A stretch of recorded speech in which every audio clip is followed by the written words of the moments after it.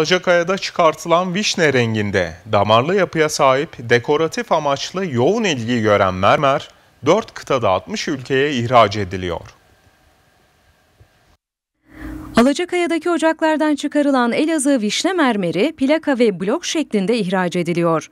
40 yıldır dünyanın gözdesi haline gelen vişne mermeri bugüne kadar Kabe, Beyaz Saray, Dubai ve Palmiye adalarındaki lüks otel ve mağazalar gibi birçok seçkin mekanı süsledi.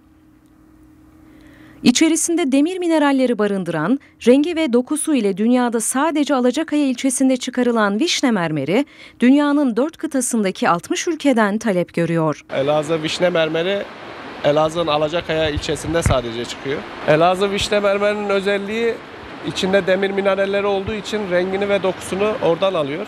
Dünyada sadece tek Elazığ Alacakaya ilçesinde bulunuyor. Birçok ülkenin özel ve seçkin mekanlarını süsleyen vişne mermerinin en meşhur kullanıldığı yer ise hacıların ve umrecilerin say yaptıkları Kabe'nin yanındaki Safa ile Merve tepeleri arasında yer alıyor. Bu renk, bu desende başka bir mermer alternatif olarak yok. Elazığ vişne mermeri dünyada 60 ülkeye ihraç ediyoruz.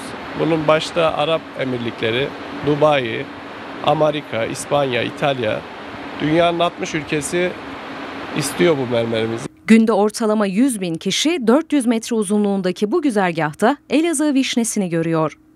Mermer firma yöneticisi Sinan Diker, bu yıl 20 bin ton blok üretimi ve satışı ile 80 bin metrekarede plaka satışı gerçekleştirdiklerini söyledi. Elazığ vişne mermeri hangi mekana girerse orayı bir ferahlaştırıyor, lüksleştiriyor. Onun için çok tercih edilen bir mermer. Biz pandemiden önce yıllık 40 bin ton üretimimiz vardı. 100 bin metrekare de plaka şeklinde üretimimiz var. Bu yılki hedeflerimize ama ulaştık. 20 bin ton blok üretimi yaptık. Bir 80 bin metrekare de plaka satışımız oldu.